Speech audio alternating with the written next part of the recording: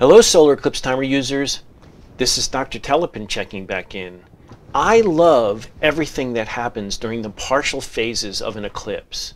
The period of time between C1 and C2 before totality happens. When you go to your next eclipse, especially if you go with children, you need to bring a colander. Why? Well, it has nothing to do with straining spaghetti. Let me explain.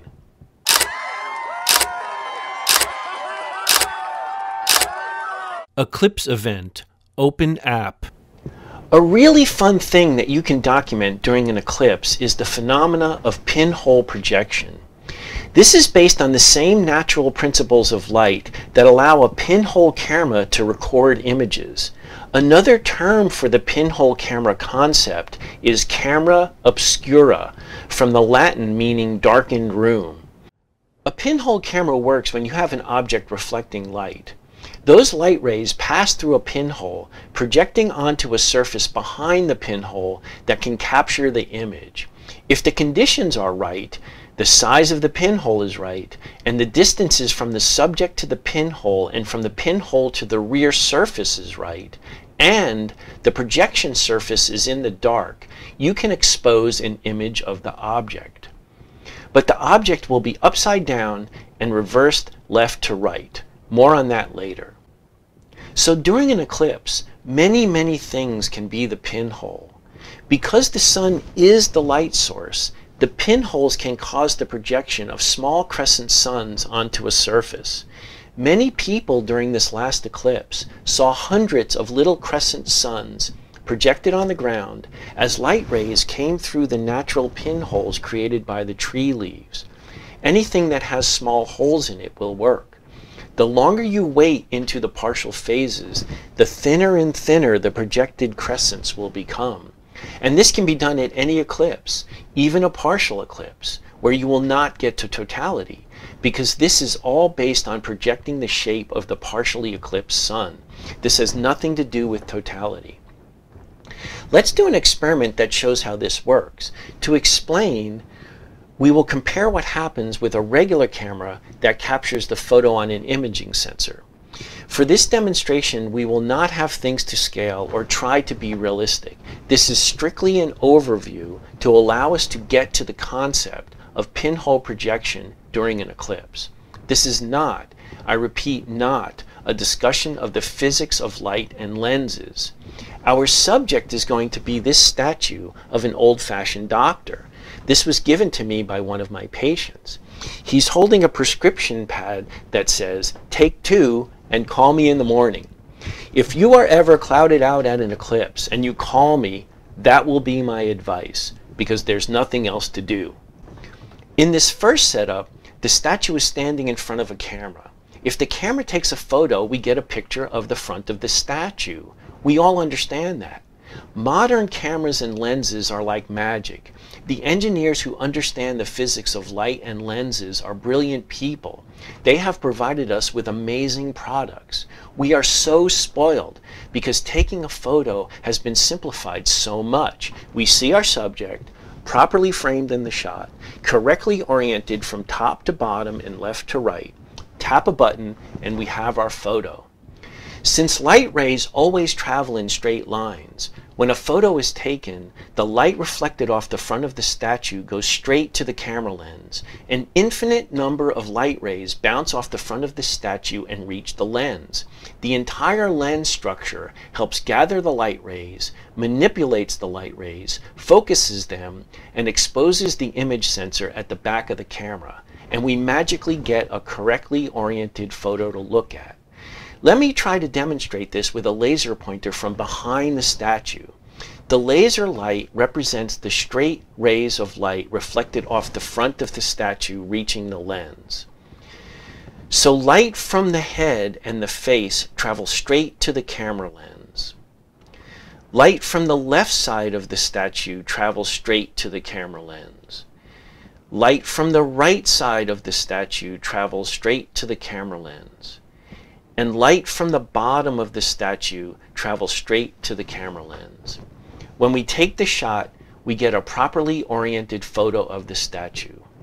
we have not given one thought to the path of light rays in the lens or camera, concave or convex lenses, focal points or focal planes, image circles or image processing. It is all just magically taken care of for us.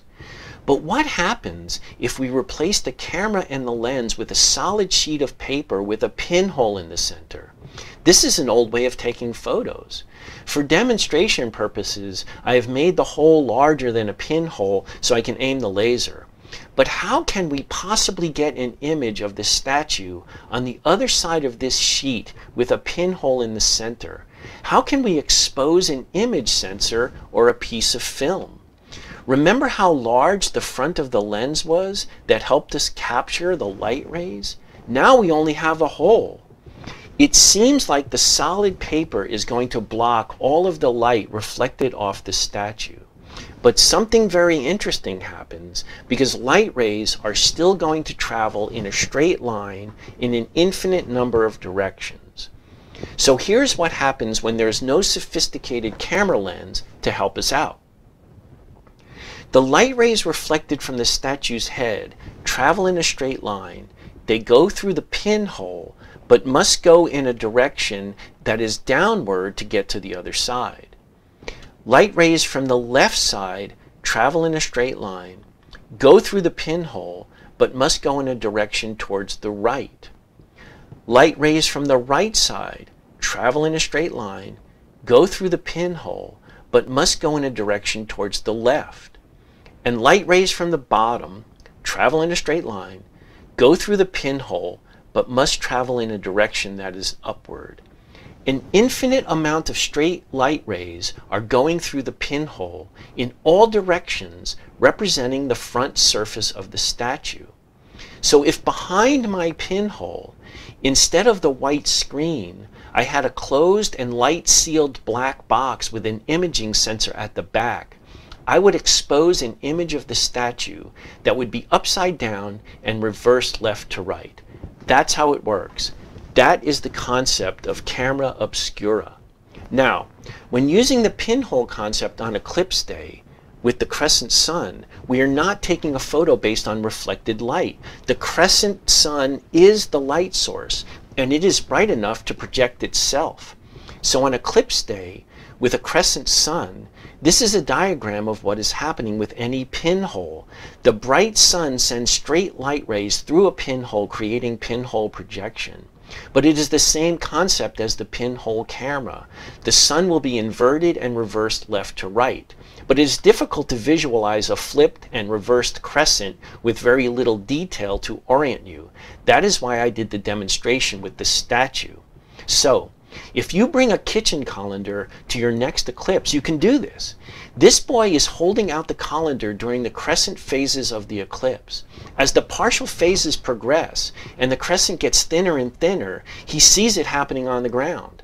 Every hole in the colander is acting as a pinhole and projecting a small image of the crescent sun.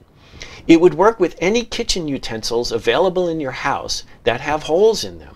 You can do an experiment with your pinhole utensil. Take a picture of the projected pinhole crescents at 40 minutes before totality.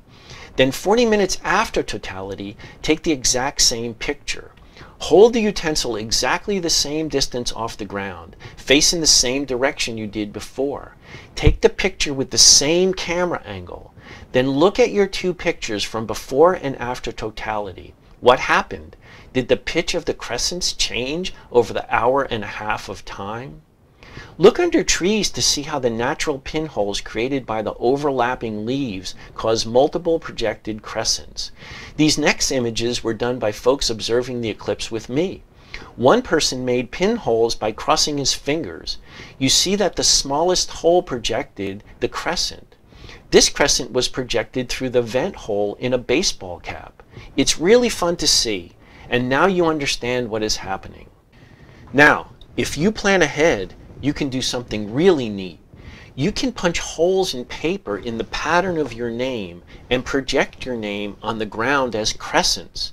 I did it at the last eclipse with the name Solar Eclipse Timer, and we did names for the other people in the group. Be creative and do other patterns or shapes. Another project you can do is to make a pinhole projector out of a shoebox. There are many instructions about this on the internet. This is one that I made for the Venus transit in 2012. It has a hole in the box on one side covered with tinfoil to allow poking a pinhole. On the bottom of the long side of the box, there is a viewing window cut out. This allows you to see the sun projected on the bottom surface, which is covered with white paper. Thank you for watching this solar eclipse timer episode. I hope you now understand the pinhole phenomena and all of the fun ways you can enjoy it with friends and family. If you find this kind of information helpful, please subscribe by clicking the subscribe button below. Also click the little bell that will pop up. That will make sure you are notified when I release new episodes about eclipse phenomena. Also post comments and questions. If you don't feel like subscribing now, that's okay too just check in on this channel because my goal is to make it the best YouTube channel to prepare people for solar eclipses. Thanks again. I appreciate your time.